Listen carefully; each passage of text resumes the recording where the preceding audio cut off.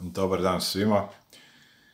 Evo je još jedna u nizu teorija zavjere koje postaje stvarnost i stvarno nema više novih teorija zavjere u pozadini. Ako neko zna neku novu teoriju, nek mi slobodno napiše u komentaru.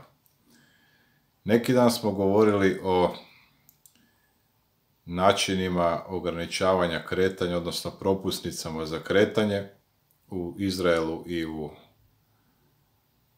Engleskoj, šta političari, premijeri tamo govore i traže. Nije prošlo, evo, koliko, par dana. Izrael je krenuo u projekt Beđevi u dvije boje. Zamislite vi ovo.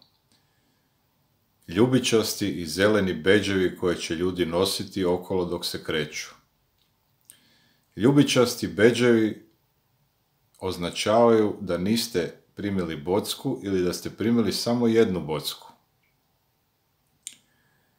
Zeleni beđevi znače da ste primili oba dvije bocke. Pa će tako, evo, malo sam si zapisao na šalabahter, da mogu biti konkretan. Oni koji imaju ljubičasti Beč moći će se kretati u trgovačkim centrima, knjižnicama, muzejima, kafićima, crkvama. A oni koji imaju zeleni beč moći će se kretati u teretanama, sportskim, moći će posjećivati sportske događaje, kulturne priredbe i restorane.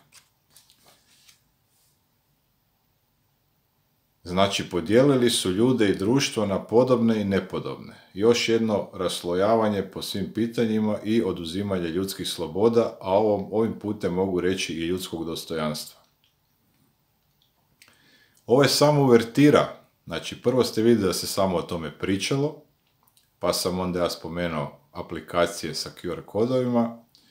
I ovi su, pošto su daleko odnakli u, u postotku cijepljenja ovoga svojih građana, počeli su primjenjivati beđeve koji ćete morat nositi ko što se nekad prije oho godina nosilo za vrijeme drugog svjetskog rata.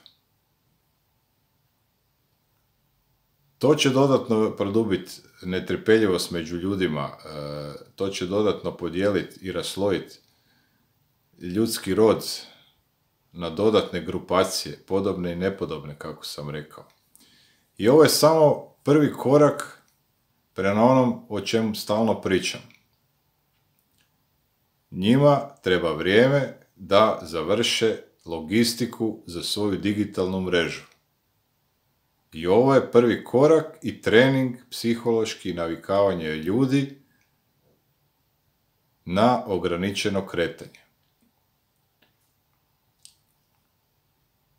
Znači, i druge zemlje, kada će proći 50% izbockanih, budite uvjereni da će prije dolaska QR kodova i aplikacija na mobitelu, isto tako na neki sličan simpatičan način, kroz potvrde, beđeve, trake ili ne znam šta,